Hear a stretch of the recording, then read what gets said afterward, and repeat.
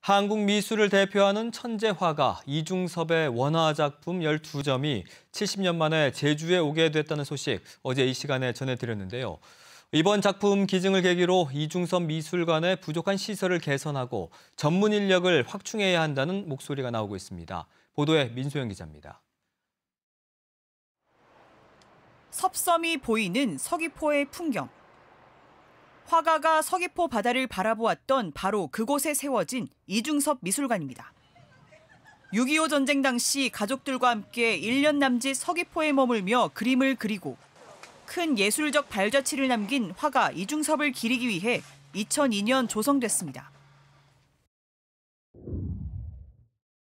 하지만 전시 공간은 1, 2층을 모두 합쳐도 큰 집 한 채 수준인 200제곱미터 남짓.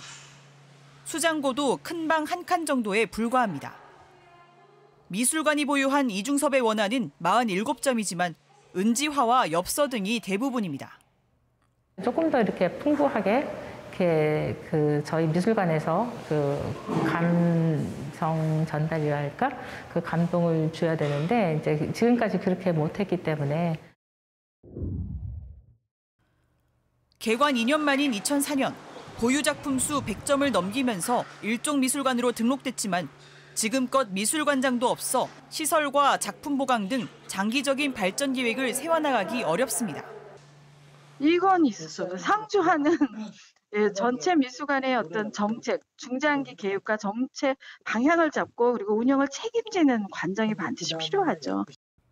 이번 삼성가의 작품 기증을 계기로 화가의 대표작 황소를 전시, 수장할 수 있도록 시설 개선과 전문 인력 확충 노력이 시급해지고 있습니다. 기존 이중천 미술관이 워낙 협소고 어, 시설이 좀 미비된 게 많이 있기 때문에 그를 어, 철거하고 다시 신축하는 방안도 같이 이중섭이 살아생전 가장 행복했던 시절로 기억하는 가족과 함께했던 서귀포에서의 삶.